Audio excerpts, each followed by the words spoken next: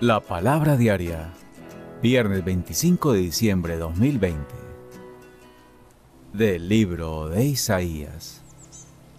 Qué hermosos son sobre los montes los pies del mensajero que proclama la paz, que anuncia la buena noticia, que pregona la justicia, que dice a Sión, tu Dios reina. Escucha, tus vigías gritan, cantan a coro, porque ven cara a cara al Señor que vuelve a Sión.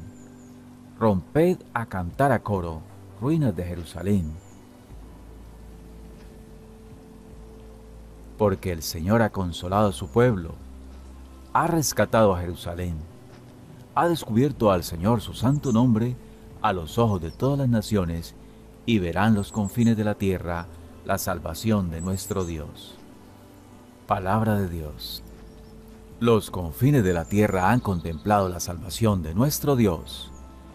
Cantad al Señor un cántico nuevo porque ha hecho maravillas, su diestra le ha dado la victoria a su santo brazo. Los confines de la tierra han contemplado la salvación de nuestro Dios. El Señor da a conocer su salvación, revela a las naciones su justicia, se acordó de su misericordia y su fidelidad en favor de la casa de Israel. Los confines de la tierra han contemplado la salvación de nuestro Dios. De la carta a los Hebreos. En muchas ocasiones y de muchas maneras habló Dios antiguamente a los padres por los profetas. En esta etapa final nos ha hablado por el Hijo, al que ha nombrado heredero de todo y por medio del cual ha realizado los siglos. Él es reflejo de su gloria, impronta de su ser, él sostiene el universo con su palabra poderosa, y habiendo realizado la purificación de los pecados, está sentado a la derecha de la majestad en las alturas, tanto más encumbrado sobre los ángeles, cuanto más sublime es el nombre que ha heredado, pues que a qué ángel dijo jamás, Hijo mío eres tú, yo te he engendrado hoy, y en otro lugar, yo seré para él un padre, y él será para mí un hijo. Asimismo, cuando introduce en el mundo al primogénito, dice, Adórenlo todos los ángeles de Dios. Del Santo Evangelio según San Juan. En el principio existía el verbo y el verbo estaba junto a Dios y el verbo era Dios. Él estaba en el principio junto a Dios.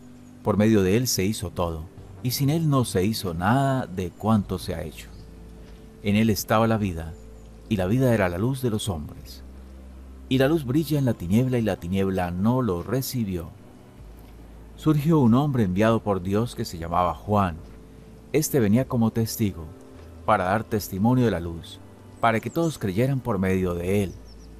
No era él la luz, sino el que daba testimonio de la luz.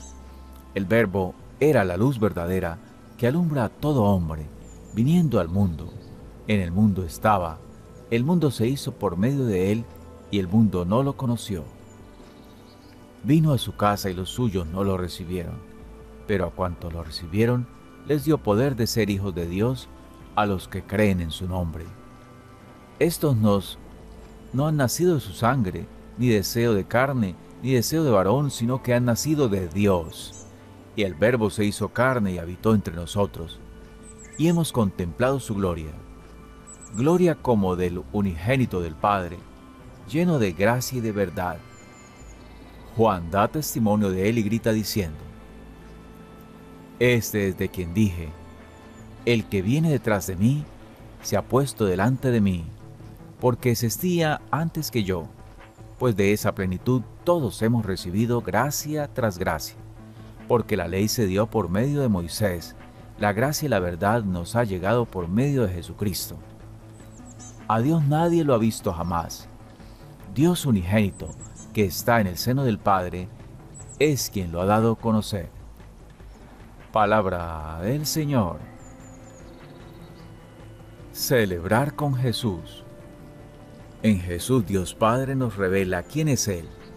Un Dios que ama, un Dios que salva, cercano a su pueblo.